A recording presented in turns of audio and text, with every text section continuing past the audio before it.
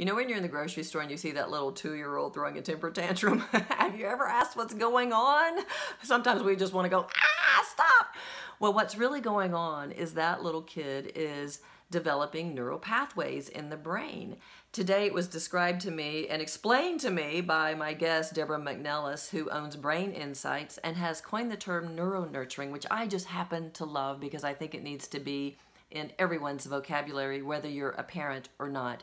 I want to encourage you to go listen to the show at terribritt.com forward slash radio and learn what's going on in those little kids' minds when they're babies, when they're two, when they're three, when they're four, when they're five, when they're six, when their brain is really, really creating pathways that are going to help these kids thrive in the world and know that they can shine, that they can trust that everything is going to be okay. This is what we want for our kids.